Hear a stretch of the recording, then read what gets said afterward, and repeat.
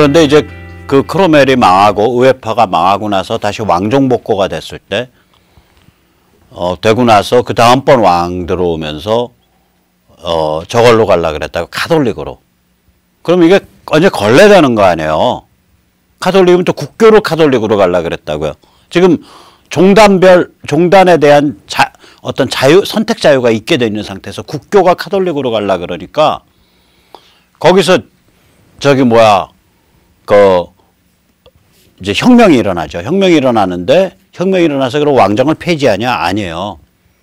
그 공주 쪽으로 공주의 사위기를 왕으로 들여놓죠. 그래가지고 어 말하자면 영국의 일종의 그 종교의 자유가 주어지는 거예요. 왕실이 주도하는 영국 국교회. 그 다음에 어저 그게 국교로 회복이 되죠. 그 왕정 복구했을 때 국교 회복되지만 동시에 그 바로 그 직전에 일어났었던 크로멜 전쟁 중에 일어났었던 일, 즉 다시 말하 크로멜 혁명 때 의회파 혁명 때 일어났었던 일, 종단의 자유, 종교의 자유가 고스란히 유지가 됩니다. 그러니까 다시 말하자면 이때 종단의 자유, 종교의 자유는 뭐냐면 영국의 국교에 반대하는 게 대표적인 게 장로교인데 그 장로교가 회중교잖아요. 공동체교란 말이에요. 그래서 영국은 우리가 영국을 가만히 보면 이게 두 축을 다 갖춘 거야. 아까 쌍발 엔진이라 그랬잖아요. 하나는 이성 과학 개인의 축을 갖췄고 다른 하나는 공동체 즉 회중 중심의 신앙이라는 거기서 나오는 맹렬한 선악 개념이라는 그 축을 다 갖춘 거예요. 이게 영국이. 이성 과학 개인 진실 거짓 이런 축 축에서 보면 이걸 대표하는 인물이 뉴턴 그 다음에 현대 과학 방법론을 완성시킨 프란시스 베이컨. 이 사람 참 중요한 사람이에요. 아는 것이 힘이다. knowledge is power라는 말을 남긴 사람인데 이 사람 얘기 잠깐 하고 갈게요. 제가 세뇌 탈출에서 한 두 번쯤 했었는데 우리가 현대과학이라는 게 뭐예요? 관찰을 해서 관찰해서 아 저거 한 5km 나가는 물건이야 이렇게 어림짐작 어림을 하든가 혹은 정말 저울을 갖다 놓고 재보니까 아 저거 5kg 300g 나갔네. 321g 나갔네. 라고 측정을 하든가. 이게 어림이나 측정은 다 관찰이죠. 그러면 아 저게 5kg가 올라갔더니 균형이 맞았어 그럼 얘도 5kg 될 거야. 라고 추론을 하죠. 인퍼링. 그 다음에 추론에 바탕을 해서 그걸 검증을 할 수 있는 가설을 세우죠. 예를 들면 이게 이러이러하면 저게 저러저러하다. 라는 조건 결과에 대한 가설을 세워요. 그 다음에 이거를 검증하기 위한 실험을 설계를 해요. 그래서 실험을 해요. 그러니까 실험 설, 실험을 해서 실험이 성공을 하면 가설이 맞은 걸로 인정하고 실험이 실패하면 다시 관찰부터 다시 돌아가는 거예요. 그러니까 관찰, 관찰 안에는 어림과 저기 뭐야 측정이 포함되죠. 분류. 아, 빨간 건 빨간 것대로, 파란 건 파란 것대로, 혹은 세모는 세모대로, 네모 네모대로. 우리 저 그 어린이집에서 하는 거, 그 분류 훈련이에요. 분류 훈련의 핵심은 뭐냐면요. 이거예요. 어, 우리가 색깔별, 형태별 두 개를 보통 많이 분류를 훈련을 시켜 2단계 분류를 하는데 너가 먼저 색깔로 분류한 다음에 형태로 분류해서 마지막 나온 거, 즉 빨간 삼각형, 그 다음에 빨간 사각형, 그 다음에 파란 삼각형, 파란 사각형. 요 요거에 집합하고 거꾸로 뒤집어 말해, 거꾸로 그걸 그렇게 안 하고 먼저 형태로 분류하고 그 다음에 색깔로 분류해서 나온 거 하고 결과가 같아요. 그래서 분류 훈련을 잘 시키려면 애들 두 벌 갖고 해야 돼, 두 벌. 그래서 애들한테 이렇게 이제 애들 함정해서 이제 꼬셔야지. 야, 그럼 우리가 색깔하고 모양하고 먼저 물어보는 거예요. 야, 색깔로 먼저 분류한 다음에 그 다음에 모양으로 분류했을 때 나오는 그 무더기 결과들하고 먼저 모양으로 분류한 다음에 색깔로 분류했을 때 나오는 무더기 결과가 같을까 틀릴까? 이걸 아주 쉽게. 그럼 애들이 저요 저요 하고 아예 같아요 틀려요 그러면 그리고 해볼까? 그 다음에 해보면 대부분 애들이 틀리다라고 얘기를 하는데 해보면 그게 같거든요. 빨간색 파란색 색깔 먼저 분류하고 동그라미 세모 네모하는 모양 분류하고 그렇게 해서 나오는 무더기들하고 그 다음에 여기서 반대죠 순서가 모양 먼저 분류하고 그리고 색깔 분류하고 그렇게 해서 나오는 무더기들하고 어 맞춰보면 같거든. 이게 분류 훈련이에요. 어쨌거나 이런 걸 그때 얘기를 한 거예요. 베이컨이 분류, 어림, 측정 이게 다 관찰의 수법인데 그래서 관찰해서 추론하고 가설을 만들고 실험하고 이게 과학 방법론이라고요. 지금은 그 자연과학이든 혹은 그게 무슨 다른 거든 간에 사회과학이든 전부 과학 방법론을 써요. 지금은 일종의 과학 방법론을 쓴다고요. 전부들. 뭐 꼭 통계 돌리고 이런 수학적인 거 안 하더라도 사회과학도 제가 지금 하는 것도 그거 아니에요. 저 굉장히 점장이 같은 소리 하고 있는데 가능하면 사례를 들잖아요. 계속. 이게 일종의 그 일종의 과학적이려고 애써 보는 거 혹은 과학적인데 흉내 내는 겁니다. 말하자면. 어쨌거나 17세기에 그래서 영국에선 또 계몽주의 이때는 프랑스는 아직 계몽주의 시작도 안 할 때 로크가 나오죠. 17세기 영국에서는 지금 현대 영어의 아버지이자 세계적인 문호인 셰익스피어가 나옵니다. 그 영국에서 이러한 이성, 과학, 개인, 진실, 거짓 이런 축만 이런 엔진만 발달했냐? 아니에요. 다른 엔진도 어마어마하게 발달하잖아요. 그래서 아까도 말씀드렸듯이 영국에서 회중교회 모델이 확립되는 거거든요. 회중교회, Congregational Church.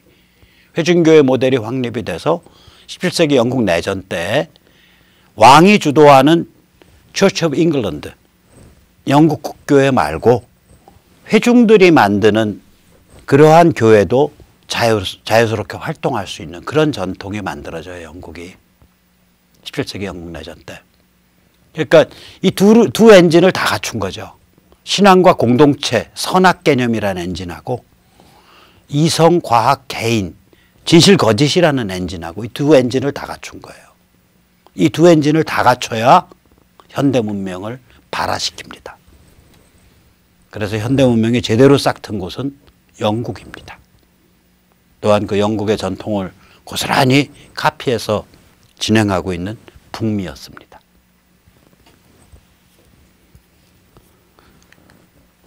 자, 현대 문명이 이제 약진을 하죠. 현대문명이 약진을 하면요. 이게 뭐냐. 산업혁명이 일어나요. 과학기술이 더 한층 발달해요. 세계시장. 이때 세계시장은 지금 우리 세계시장이 아니고 열강 각국이 여기는 영국 나와바리, 여기는 프랑스 나와바리, 여기는 독일 나와바리, 여기는 벨기에 나와바리, 여기는 이탈리아 나와바리 이렇게 갈라먹을 때예요. 이탈리아는 나중에 들어오지만 열강 각국의 배탈적 식민지로서 이제 말하자면 전 지구를 현대 문명에 휩쓸어 나간다고요. 그 다음에 현대 국가가 나오죠. 현대 국가는 군대, 관료, 기업가, 핵심 그 집단들이 생기는 거예요. 그 다음에 금융제도, 정치제도, 교육제도, 핵심적인 제도가 생기고 뭐 현대국가가 18, 19세기 때 확립되는 거라고 영국이 제일 앞에 선도하지만 다른 나라들은 18, 19세기예요. 우리가 나폴레옹 나폴레옹 하는 이유가 뭐냐면 프랑스가 1789년 혁명 이후 10년 넘게 그냥 서로 잡아 죽이고 막 그 피비린내 나고 서로 착취하고 그러니까 예를 들면 가톨릭 카톨릭 잡아 죽이고 카톨릭 성직자 수녀 다 잡아 죽이고 수도원 뺏고 교회 재산 뺏은 다음에 그거를 혁명의 완장 들른 놈들이 누보리시죠. 그 말하자면 그 졸부들이 되는 거죠. 그놈들이 나눠서 먹고 회쳐 먹는 거죠. 회를 쳐갖고 먹는 거예요. 구 시스템을. 이 이러한 그 혼란 상황을 뒤집어 엎고 중지시키고 근대 국가를 만들 급속하게 근대 국가를 만드는 방법을 제시한 게 나폴레옹입니다. 그게 그래서 나폴레옹이 우리가 먹어주는 거예요. 자 이런 상황이 펼쳐지니까 신앙 및 공동체가 해체되겠죠. 신앙 및 공동체가 해체된다고요. 이걸 저는 현대 문명의 해체 경향이라 그러는데 아까 제가 처음에 한반도에서 무슨 일이 벌어지고 있는 거냐. 현대 문명의 핵심 이슈, 공동체를 해체하고 그 다음에 도덕을 해체하고 선악을 해체하고 그리고 인간을 무도덕한 자의식 덩어리로 양산해내버리는 사람들을 이게 현대 문명의 해체 경향이거든요. 이거가 현대 문명이 해결할 수 있냐 없냐라는 핵심적 실험이 바로 지금 한반도와 중국에서 중국에 대한 실험이에요, 이게. 그래서 이게 어마무시한 실험이라는 거예요, 이게. 이 해체 경향은 이미 이미 르네상스 때부터 시작된 거예요. 그리고 14세기야. 이게 범사회적인 그 전체적인 분위기가 된 건 19세기고요. 18세기 말이 되면 이게 감지가 되기 시작해요. 이걸 최초로 감지해서 이러한 유형의 인간, 무도덕한 자의식 덩어리에 아주 사나운 분열된 자아를 그린 작품이 라모의 조카라는 작품입니다. 라모의 조카고 좀 허접한 번역이긴 하지만 고려대 출판부에서 나와 있고요. 어, 이 작품은 18세기 말 프랑스의 그 사상가였던 데니 디드로의 작품입니다. 세계적인 사상가들이 많이 인용하고 주목한 작품이에요. 괴테, 헤겔, 막스, 프로이드 전부 라모의 조카를 언급을 했어요. 언급을 했거나 거기서 그 핵심적인 아이디어를 캐치한 사람들이에요.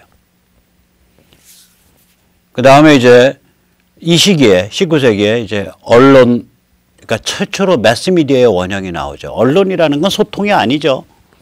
중앙에서 뿌리는 메시지로 사람들이 그걸로 세뇌되고 그걸로 공통의 관념을 형성하는 거죠. 야, 너 왜 그런 엉터리 소리 해? 그러면, 아, 그거 사실 아닌 것 같은데? 그러면, 아, 그 신문에 났어! 아, 방송에서 얘기하던데? 그러니까, 언론이 해주는 일은요, 어떤 공통의 관념을 형성시키고요. 그 다음에 공통의 사람들이 진실 혹은 사실이라고 받아들이는 그 정보 세트를 형성시켜 주는 거예요. 그게 매스미디어의 일이에요. 그게 없으면 사회가 안 돌아가니까. 그러니까 그걸 악용해서 조중동 탄핵 전국 때 조중동은 그래도 우리가 조중동쯤 되면 사실은 사실대로 할 거야라는 우리의 나이브한 순진한 기대와 믿음이 있었단 말이에요. 조중동이 용서하기 어려운 이유는 그걸 악용해서 인격살인을 저지른 거예요. 조중동이 나서서 어 박근혜 저기 저기 최태민 악령 씨였다는 얘기가 막 돌아요. 이렇게 보도를 한다든지 조중동이 나서서 박근혜는 저기 저기 최순실이 아바타예요. 이래버리면은 일반 사람들 순진한 사람들이 아 거긴 상당히 그래도 사실을 주목한다니까 그거 사실일 거야. 어 그거 사실이야. 그래서 떠들다 보면 사실 사실 사실 사실 해서 쭉 다들 그 사실로 알고 있으면 결국에 가서는 다 사실로 인정하는 거예요. 그래서 제가 탄핵 전국 때 연설할 때 그 상당히 유명했던 구호가 제 구호였잖아요. 조중동포. 그러니까 조선중앙동아포탈. 너희가 나치냐? 너희가 공산당이냐? 그러니까 사람들이 조선중앙동아에 대해서 가지고 있던 신뢰를 악용을 해서 그걸로 인민재판과 인격살인을 진행한 거예요, 이게. 그래서 이 대가, 이 대가라기보다 여기에 대해서 우리가 정확하게 평가해 줘야 돼요. 정확하게 기억하고 평가해 줘야 된다고요. 안 그러면 또 당해요. 자, 이게 이런, 이런 그 언론의 그 어마무시한 영향력이 언제 시작됐냐? 19세기에 시작됐어요. 처음엔 신문으로 시작됐습니다. 그리고 이게 나중에 20세기 들면은 초에 라디오가 됩니다. 대한민국의 최고의 라디오 스타는 누구였냐? 아니, 대한민국 인류 역사의 최고의 라디오 스타 누구였냐? 믿거나 말거나 히틀러입니다. 히틀러 연설이요. 그, 그거가 라디오 소리로 나온다고 생각하시고 히틀러 연설 한번 들어보세요. 그, 그 high, high pitch로 그냥 온 그, 그 정신의 모든 힘, 육체의 모든 힘을 쥐어 짜갖고 그냥 지져, 지져대는 거거든. 그거 들으면요. 여기서 그냥 모골에 소름이 쫙 끼쳐 올라오는 거예요, 이게. 그래서 아무튼 이러한 그, 그 다음에 나온 이제 매스미디어가 20세기 이제 중후반, 중반 이후로 테레비였고요. 테레비가 매스미디어로서는 끝이죠. 칼라TV까지가. 칼라TV가 우리나라에서 일반화된 거는 전두환 시대 때입니다. 노태우 시대. 처음에 흑백이었고요. 저 어렸을 때 60년대 말만 해도 흑백 테레비가 서울인데 제가 살, 나고 사는 데가 흑백 테레비 하나 있으면요. 그 뭐 중요한 경기. 그때는 왜 그렇게 프로레슬링들을 좋아해? 천기비, 천누구, 뭐 장누구, 기밀 뭐 이런 프로레슬링 경기 있으면 전부 그 집 가서 보는 거예요. 자, 이런 상황이었죠. 그러면 원한 앙심이 이, 이 시대 때 원한과 앙심, 세계, 세상과 삶에 대한 원한과 앙심이 사상으로 확립돼요. 이게 대표적인 게 공산주의입니다. 공산주의 까면 결국 원한과 앙심이거든요. 그런데 이게 사상 체계가 되죠. 그러니까 이게 파괴력이 굉장히 커지는 거예요. 자, 이러한 북새통이죠. 18, 19세기.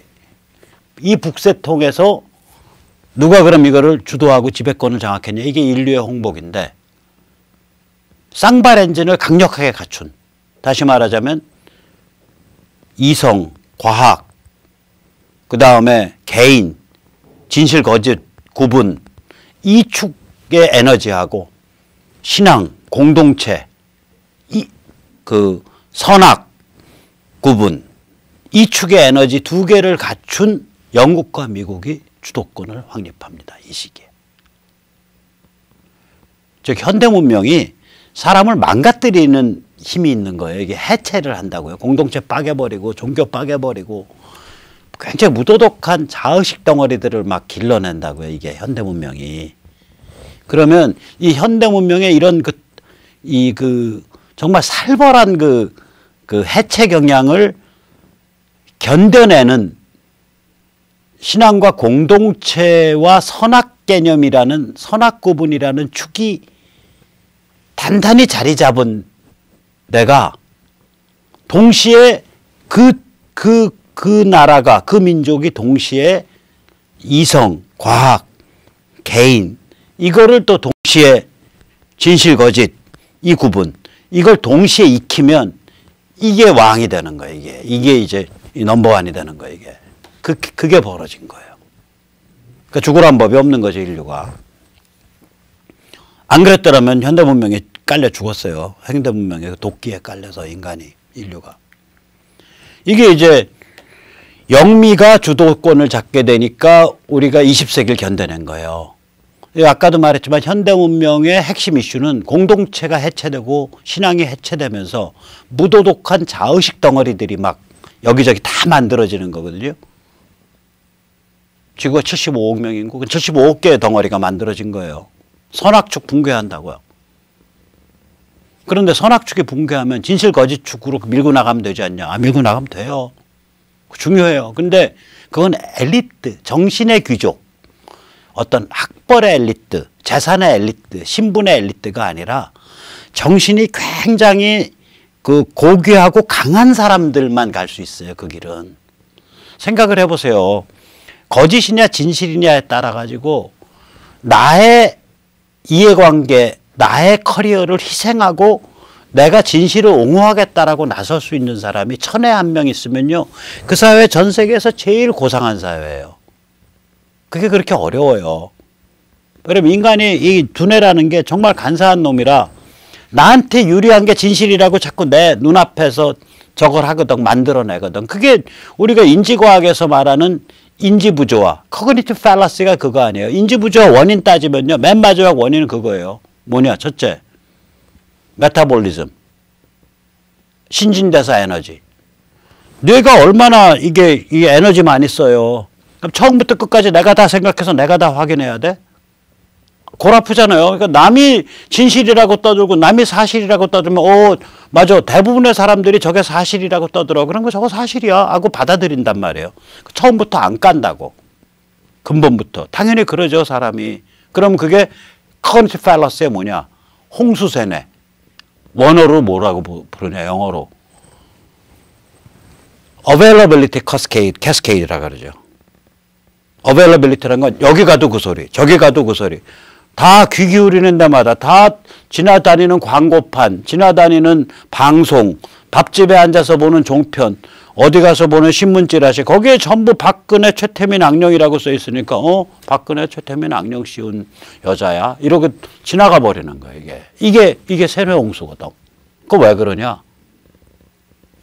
자기가 까갖고 자기 머리 뇌세포 에너지 들여가지고 생각하기 싫거든. 왜냐? 그거 생각해봐야 생각하면 내가 더 먹어야 되잖아요. 그 더 먹을 음식값 누가 대주나? 사람이요 곤궁하면요 머리를 안 쓰려고 들어요 보통 머리 안 쓰려고 든다고요. 이게 사람이 그 생존 본능이 그래요. 여기가 다른 거는 안 쓸 도리가 없잖아요. 예를 들어서 체온을 35도로 낮추면 죽잖아요.